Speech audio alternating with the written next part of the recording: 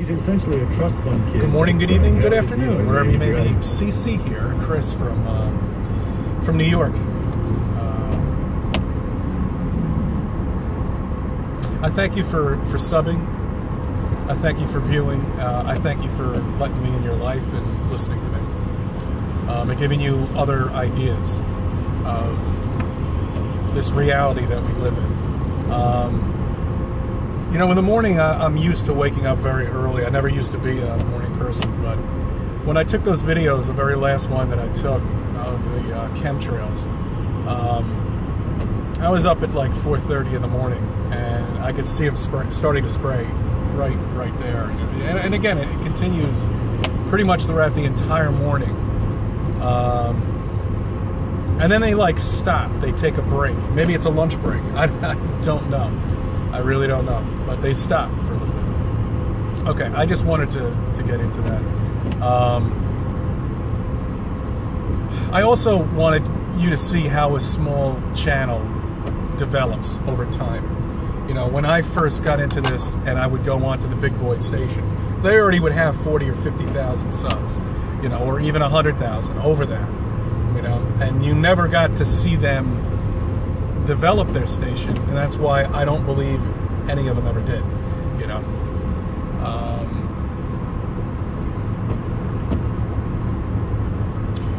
so you're watching this develop with people leaving comments, good or bad.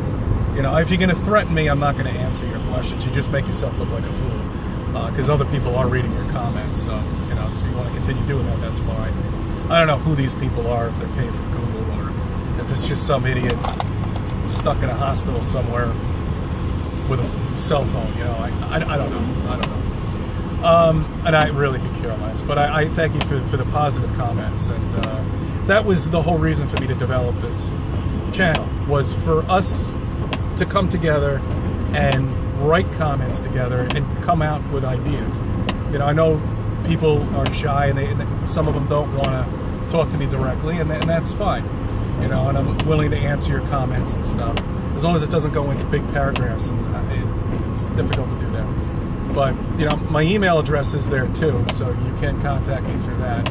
Um, and that's the whole point of this. That's the point for us to communicate together and share our ideas. You know, I see one of the guys who uh, watches my, my channel. Uh, very impressive. Um, he's out there showing people that the Earth is flat. Uh, he was at a lake and he took a spotlight. We don't need lasers, guys. You can do whatever you want. I mean, if there's a curvature to the Earth, you know, you wouldn't be able to see whether it's a spotlight or if somebody's standing all the way on the other side of the lake because there'd be an eight-foot drop, you know, on, on 10 miles or, or, something. Some of the lakes around here are that, that big. Um, you'll see those experiments when I do them. I, I'm just a one-man job. So I would have to leave the equipment and go to the other side of the lake, and I'm afraid someone's going to take it. You know, so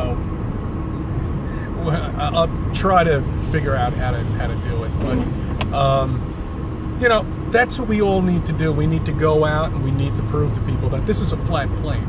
Forget about a computer simulation for a minute. Let's just get people on the same page that this is a flat plane that we live on here. I don't know if ice walls are surrounding us. I really don't. I've never been down there before. It makes sense for them to, to surround us, you know, but in a computer simulation, you don't need them at all, you know, but I'm, I'm getting off the topic, you know. The, the whole point is to explain to people they live on a flat plane, okay? This is what you live on. The sun and the moon don't appear to be solid objects to me. I don't know if they're reflections. I don't know if they're multiple Yes, I'm saying multiple suns up there and multiple moons. This might be a little crazy. We're working on a master's degree level now. So if you're still in high school with flat Earth, I don't want to get too detailed with this because uh, you know. But I'm gonna I'm gonna leave it at that. Uh, I'm not gonna mention any more of it. I'm gonna get more into it later on as you get into flat Earth and as you accept different models of flat Earth and not just one. You know, I'm, I'm sick and tired of people telling me, you know, what we live on. You don't know what we live on. Nobody knows what we live on. You haven't been all the way up there. You don't haven't been down to Antarctica, certainly. You don't know if these ice walls are surrounding us. You know. Um, somebody brought up to me the other day in, in a comment, which was actually quite interesting. Um, you know, and we- do live in a computer simulation. Why wouldn't God be a computer programmer? And I've thought about that, but I haven't really wanted to mention it because it might piss people off. You know, because God is a touchy subject with everybody. You know, we all have our own God. I do too myself. Um, I know there's a creator out there. You know, whether he created this that we live on or if it's multiple people that, that created this. You know, somebody had to have created all of this. You know, a computer simulation simple because everything would be simulated. So we could be on a computer somewhere on somebody's desk, in an office, in a corporation somewhere. You, you know what I mean? You, you know what I'm getting at there? You know, but that's why I find that model hard to believe, but it's plausible. You know, it, it, it really is. And while I'm doing my research, it's kicking up, it's kicking open more doors. You know, in, the, in that case, especially with the sky, how we see the sky. You know, because we can only see three or maybe mm-hmm. five miles. You know, maybe on the ocean you can see 10 miles, but I mean, in the sky itself, our perspective is very small. You know, mm-hmm. I mean, look at a sidewalk when you're walking down. Like I see this in Mount Vernon all the time. Straight sidewalk, and then the you know the, the sidewalk comes together at some point because it's so far away, and that's the perspective that you see. You know, and that's how you're looking at the sun. So it doesn't necessarily have to be even 73 million miles away. It could be a hell of a lot closer than than you think. Um, and it- it's never really made much sense how it is just it should be this you know i mean forget about 93 million miles we know it's not that far away but i mean it, it's so precise that you can see every branch and twig from the shadow of the sun itself you know when it's uh, especially when it's going down in the uh, horizon i don't want to say sunset because i don't even believe that it's setting anymore at this point um, other people believe that it's going straight. You know, that their perspective makes it look like that it's setting. But that's a whole different subject. That's on another video. I've got to do more research so I can present all of this properly to you. You know, um, I did want to bring up. Well, okay, yeah. I mean that that's all. That, more research has to be done on this on this topic, of course. Um, and uh, you'll be hearing my reports about it, especially in the next couple of days. Um, you know, my time itself is limited. So I, you know, when you, you, get sucked into this vortex when you're looking at, at, at videos from, from YouTube, you know, time just passes. All of a sudden, the next thing you know, it's two hours. And I mentioned that to you before. And uh, that's how YouTube is. You know, it just gives you, you know, a suggestion and then you open that up and, you know, you know, you know how it works.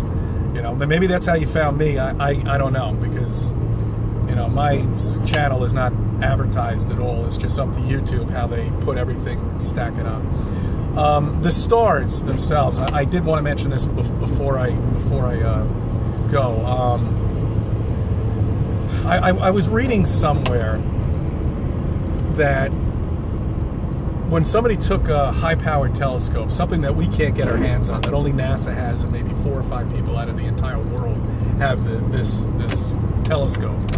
Um, when they looked at the galaxies, it was almost like they're stacked up, you know, right on top of each other. Like, you know, we're meant to, to find that.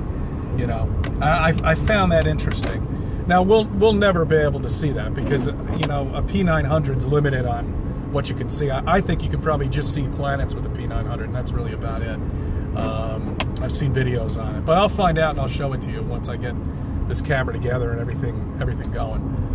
Uh, sorry, it's raining outside. These window wipers get really loud, and you know once once I can get that, I'm still trying to figure that out.